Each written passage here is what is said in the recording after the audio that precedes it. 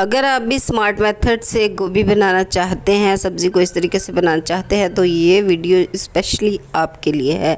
या फिर ये उनके लिए है जो फ़र्स्ट टाइम आलू गोभी बना रहे हैं। ठीक है जी? तो चलिए वीडियो को बनाना शुरू करते हैं। बिसमीम अल्लाम माई यूट्यूब फैमिली कैसे हैं आप सब लोग? उम्मीद करती हूँ अल्लाह के फसलो करम से इंशाल्लाह ठीक ठाक होंगे।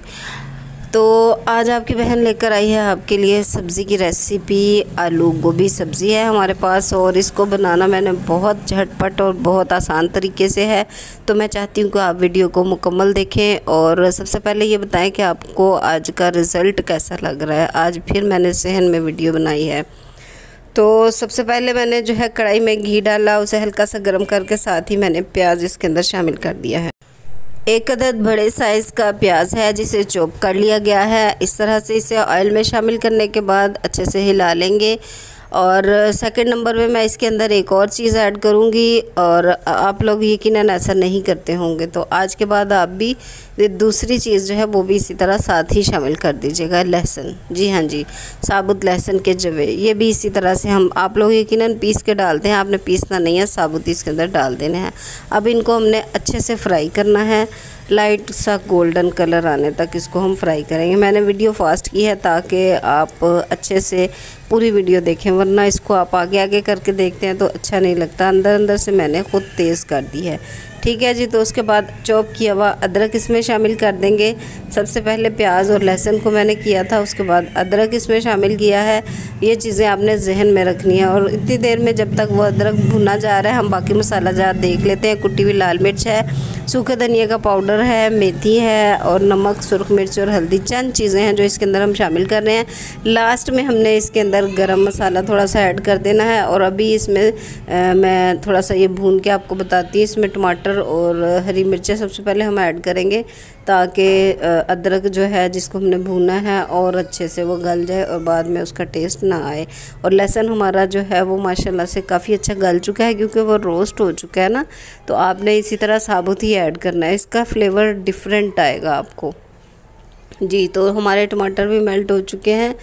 अब हम ये सारे मसाला जार डाल देंगे सिवाए हम सूखे धनिए के और मेथी के। ये दो चीज़ें मैंने लास्ट में ऐड करनी है। इसके साथ मैं गरम मसाला भी ऐड करूँगी। बाकी मैंने नमक, मिर्च, हल्दी और कुटी हुई मिर्च दोनों तीनों चीज़ें इसमें ऐड कर दी हैं। आप चाहें तो इसमें काली मिर्चें भी इस टाइम पे ऐड कर सकते हैं, वरना ऊपर से भी गार्निश कर सकते हैं। तो थोड़ा सा पानी इसमें शामिल करना है। जैसे कि मैं आपको हमेशा बताती हूँ, मसाला भूनते हुए पानी लाजमी शामिल कर लिया करें। उससे मसाला अच्छे से भुन जाता है। तो बस ये इतना सा काम है। इतना सा मसाला रेडी करना है। बाकी तो वही, खुद ही खुद ही पक जाना है। ये देखें, मसाला हमारा अच्छे से भुन चुका है। अब हमने इसके अंदर गोभी शामिल करनी है, आलू शामिल करने हैं। आलू जो है उनको, जिनको आपने पानी में अगर भिगोया हुआ है मेरी तरह तो उनका पानी अच्छे से निकाल लीजिएगा। बिना पानी के आप इसमें शामिल करेंगे, ठीक है? क्योंकि ऑलरेडी गोभी जो है वो पानी वाली सब्ज़ी है, उसने पानी छोड़ना है। थोड़ी देर के बाद मैं आपको दिखाऊँगी कि उसने पानी छोड़ा। देखें अभी आपके सामने है, बिल्कुल रूखा रूखा सा आपको लग रहा है, कोई इसके अंदर शोरबा वगैरह नहीं है। तो इसको 20 मिनट के लिए मैं छोड़ दूँगी, लेकिन दरमियान में 10 मिनट बाद मैं इसको आके चेक ज़रूर करूँगी। तो 10 मिनट गुजर चुके हैं, मैं अब आपको इसकी कंडीशन दिखाती हूँ। ये देखें, ये नीचे पानी आ रहा है ना। ये ख़ुद ही अपने पानी में पकता है, माशाल्लाह से ये सब्ज़ी। और अपने ही पानी में इसने पक जाना है। 10 मिनट के लिए इसको मैं दोबारा से हिलाने के बाद कवर कर दूँगी और 10 मिनट के बाद आप इसकी कंडीशन देखिएगा। ये देखें माशाल्लाह माशाल्लाह, ये अच्छे से जो है पक चुका है। मैं आपको आलू इस तरह से तोड़ के दिखा देती हूँ। ये देखें, टुकड़ा हो गया। इसी तरह से गोभी भी है। मतलब बहुत अच्छे से गल भी चुका है और सामने दिखाई भी दे रहा है। बहुत ज़्यादा पेस्ट नहीं बनाया, बल्कि गोभी के जो फूल हैं, वो भी आपको दिखाई दे रहे हैं और बाकायदा पता चल रहा है कि जी, ये आलू गोभी है। ठीक है तो वीडियो आपको कैसी लगी है? अगर पसंद आई है तो लाइक करें शेयर करें चैनल पर नए हैं तो सब्सक्राइब कर लें। उसके बाद आप इसको डिश आउट कर लें, इसको गार्निश करें, हरे धनिए के साथ, हरी मिर्च ऊपर सजाएँ कदद और लास्ट में आपने इसमें जो मेथी है और गरम मसाला है। अगर आप चाहते हैं तो थोड़ा सा चाट मसाला ऐड कर दें, वरना काली मिर्चें भी कर सकते हैं। और सूखा धनिया लाजमी इसमें एंड पर डालिएगा। ये तीनों चीज़ें जो हैं इसको खुशबू और फ्लेवर देती हैं। इसी से जो है ना इसका जायका बनता है। थोड़ा सा ये देखिए मैं गरम मसाला डाल रही हूँ। अब इसको अच्छे से हिला के कवर करके रख देंगे।